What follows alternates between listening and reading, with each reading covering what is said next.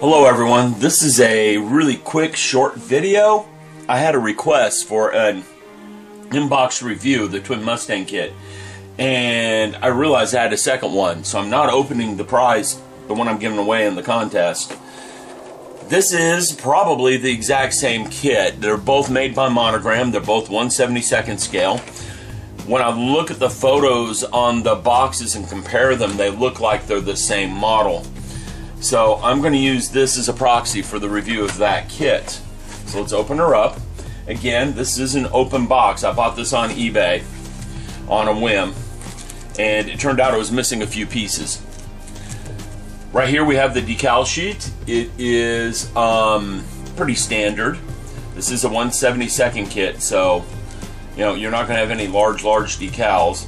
You do have some instrument panels on there and a couple uh, symbols here and there along with some call numbers and a few other things. This plane was used in the Korean War, so um, I don't really expect any fancy markings or anything. Here's the underside of the wing. The flaps have a recessed panel line on them, but the rest of the panel lines are raised. I know that's the bane of the modeling world because if you do any seam filling and try to sand to fix your seams, those raised panel lines go right away and you can't get them back.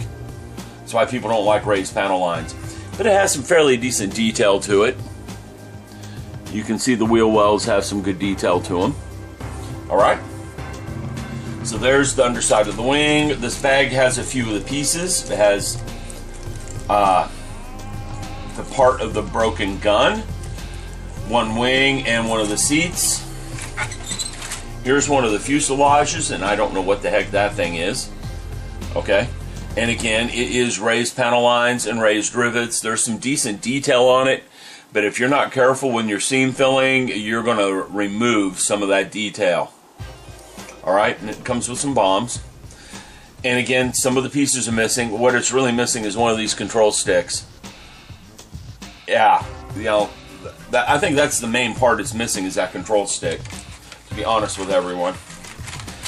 Here's a few more parts. Again, the raised panel lines. You can see the detail on the wings is fairly decent. If it wasn't raised panel lines, it'd be a pretty decent little kit, in my opinion. I wish these companies would get away from the raised panel lines and start doing recessed. You can rescribe those.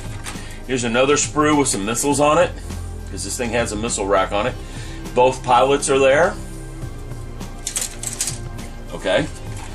We have another set of sprue here's the main gun and the missing gun barrel goes right where my finger's at right now. Okay? One of the seats the other seat is in that bag over there. It almost looks like that's broken. It's not. I don't know what's in that bag because here's the other seat. Here's a piece of sprue that's missing parts.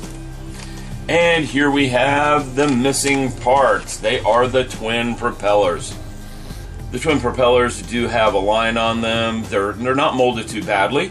The kit really doesn't look like it's molded that badly. Okay.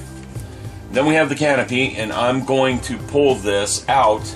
I'm glad I opened this because this is broken off the sprue. She is getting scratched up and beat up in this box. So what I'm going to do is get her in a separate bag.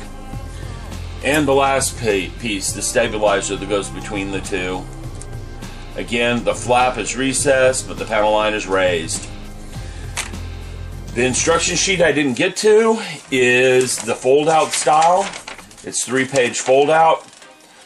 She doesn't look like she's all that horribly done, the instruction sheet anyhow.